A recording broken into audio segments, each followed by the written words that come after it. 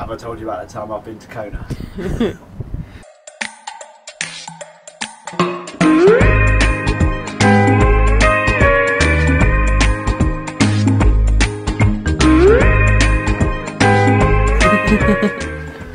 right.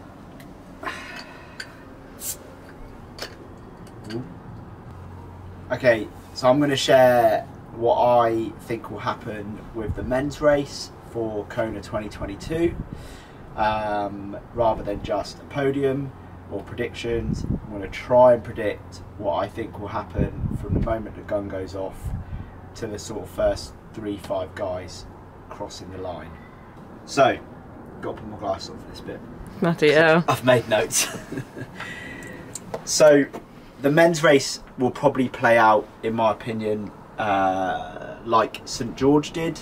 A lot of the front guys that uh, made that front swim pack and got away on the bike and stayed away are in Kona, and a lot of those guys have raced in Kona before or have at least proven their swim uh, and some of the bike pedigree before.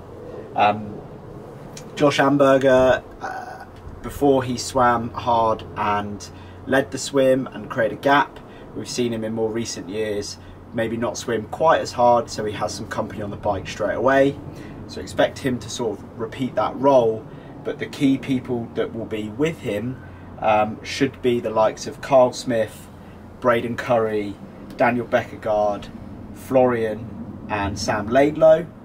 There are a few people uh, that weren't at St George that may make that pack. The most notable potentially, and my heart really hopes this happens, is Tim O'Donnell is in that front group.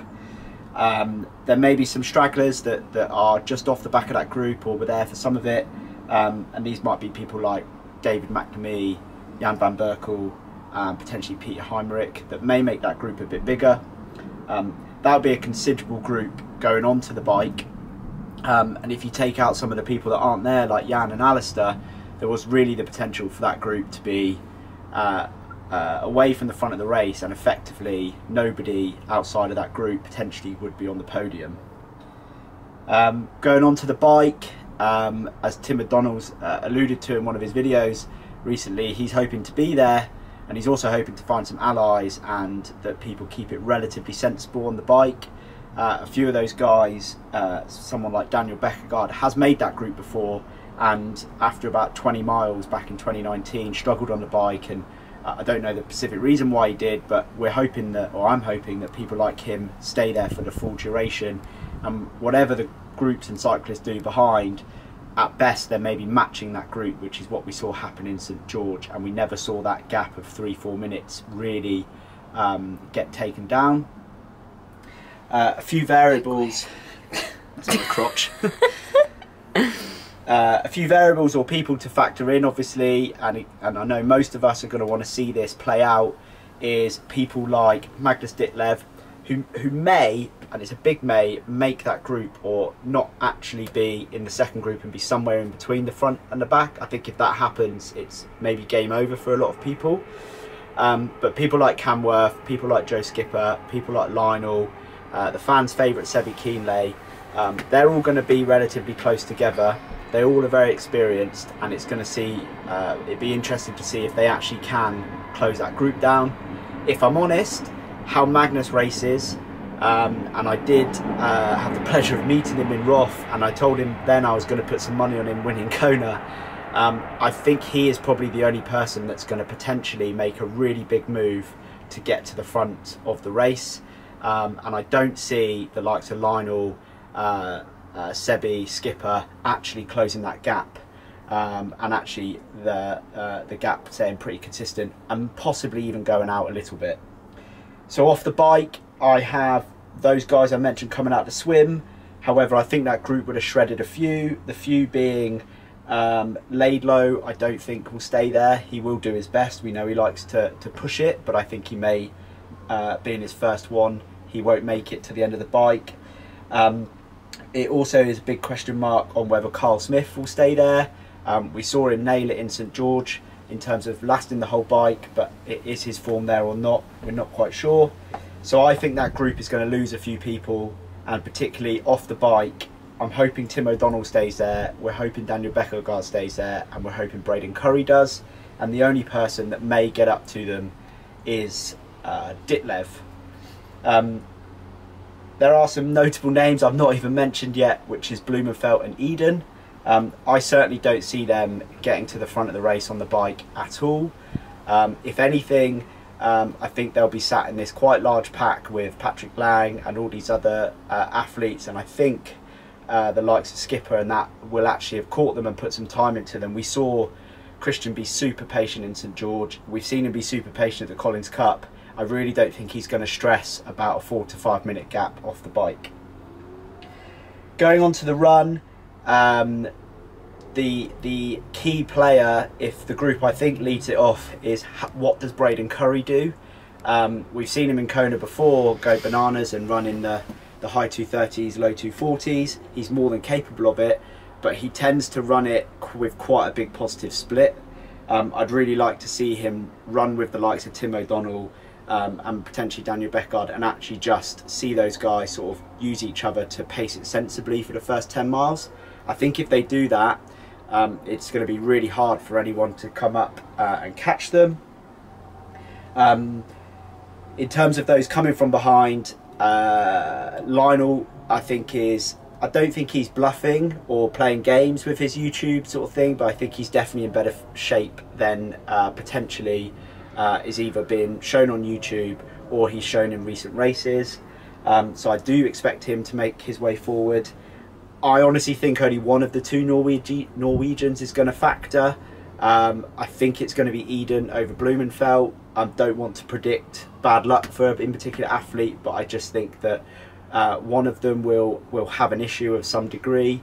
Um, so Iden may be the one that advances, um, but I think they're going to run out of road, and I think the uh, final sort of few k is where it's going to be decided. The final six, uh, five to six k. I think it's going to be Braden Currie. I think Lionel will come second again. And I hope and uh, believe Ditlev will be the person that rounds out the podium. I think Tim O'Donnell will finish in the top five and uh, Iden may join him in that case. So the top five is going to be Braden winning, Lionel second, uh, Ditlev third, Tim O'Donnell, and Iden fourth or fifth. Uh, not yeah. Who comes fourth? Who comes fifth? It, it won't matter. Um, and that's the top five. So uh, as I've said on social media, I'm not going to predict the women's race because I would effectively say it's Fenella and Ruth for a sprint finish, and therefore I'm too biased. So I, instead, here's some tips from uh, when I did the race in 2019, which whether you're pro or age group, probably or could be of use the first one is to wear sun cream. seems obvious, um, but wear sun cream from the start of the day. They do put it on you in transitions, um, but if you can put a bit on and it's waterproof and it's good for the environment, swim in it. It definitely will protect you when you're out on the bike. Um, you don't feel the heat as much on the bike, but you certainly do get exposed to the sun, and you don't want nice bright red arms and legs. Um, in the swim itself, the start is chaos. Uh, it's a big mass water start for most age groups. I'm not completely familiar with how they're doing it this year, but it normally is a lot of people. It's a lot of people of a very similar ability, so the the takeout is quite quick. It lasts a lot longer. The sort of punch and the sort of fighting that goes on in the water, all friendly, of course, um, but expected to last a little while. Um, and in particular, it may be uh, the first time you or somebody may have raced non-wetsuit over this distance. Um, the key thing that I focused on um, was keeping my legs kicking, not necessarily for propulsion. Uh, I don't kick a lot to propel myself, so that would tire me out, but kicking them to keep my body position nice and high in the water, trying to make up for the fact that you don't have a neoprene wetsuit. If you are somebody who is looking to do well or race the actual race and you're in that kind of uh, high 50s uh, around the hour mark for the swim or, or whatever you might swim if you want to be competitive, um, the first couple of K or about 10K on the bike is really important in the sense of don't go bananas and set a new FTP, but definitely use it as your opportunity to get past people, overtake people. Um, there's a few dead turns on the on the Palani Road, etc. So don't be afraid to overtake people within yourself, obviously. But once you get on the Queen K, you don't want to be surging, you know, to get around big packs of people, or you get stuck in a pace line and and you get frustrated because you don't think you're riding hard enough, etc. Once on the Queen K, relax on the bike. It goes very quickly. Uh, the the bike in, in Kona.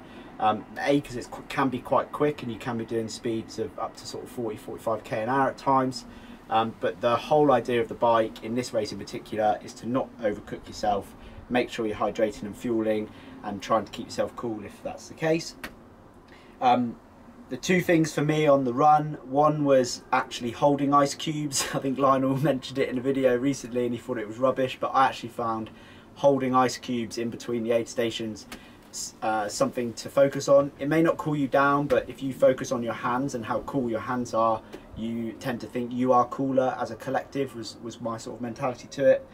And the last part is, um, and you may have experienced this already if it's your first time there, there are a lot of egos in Kona. Um, so that last 10 miles on the run, last 10k of the run, lots of people are walking, lots of people are very frustrated that they're 50th in their age group and not winning their age group like they may be used to.